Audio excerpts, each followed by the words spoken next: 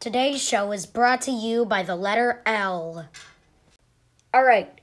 Why is the alphabet different on Christmas? Because there's no L.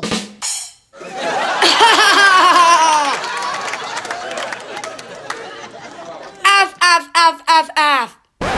Wait a minute. That didn't sound right. Maybe because there's no edder.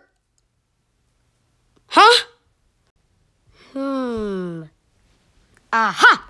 Just as I suspected, the alphabet. It's incomplete. Wait, what did I just say?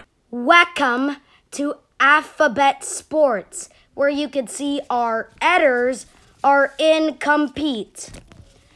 A right, this has gone out of control. We need our editor back. He shall be whacking around now.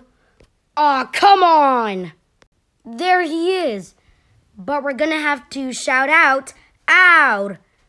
I'm not so sure that it will work.